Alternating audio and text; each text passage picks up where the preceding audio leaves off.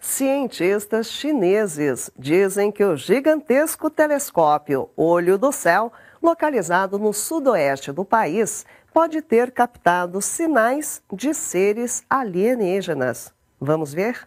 Vejam agora. O Diário de Ciência e Tecnologia da China trouxe uma informação um tanto quanto misteriosa esta semana.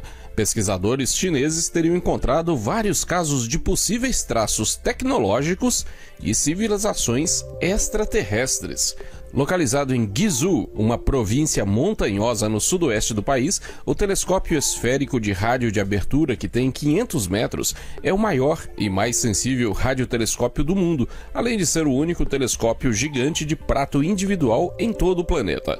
Capaz de detectar ondas de rádio fracas de pulsares e materiais em galáxias distantes, o equipamento custou 171 milhões de dólares ao governo, algo em torno de 870 milhões de reais e vem trabalhando desde 2020 na busca por vestígios de vida extraterrestre.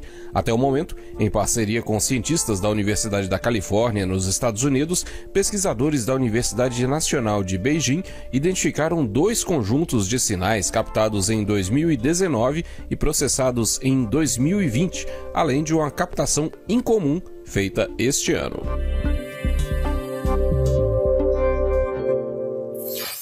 Durou pouco a suspensão da missão Capstone da NASA. A Agência Espacial Norte-Americana já divulgou uma nova data para o lançamento do equipamento, que vai orbitar a Lua.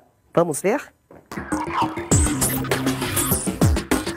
A NASA anunciou que o lançamento da missão Capstone vai acontecer no sábado da semana que vem, no dia 25 de junho. Inicialmente programada para decolar entre os dias 3 e 15 de maio, o evento sofreu diversos adiamentos. Esta já é a quarta data divulgada pela Agência Espacial Norte-Americana em pouco mais de dois meses.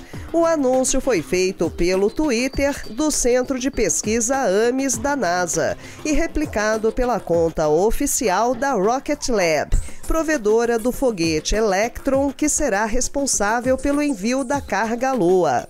Um comunicado emitido na quarta-feira passada suspendeu o lançamento previsto para segunda-feira, em razão da necessidade de atualização do software, mas ainda não havia sido definida uma nova data para a decolagem, que será a partir da península de Maia, na Nova Zelândia. A missão Capstone vai ajudar a NASA nos processos que precedem o momento de levar seres humanos de volta à Lua, o que deve acontecer entre 2025 e 2026.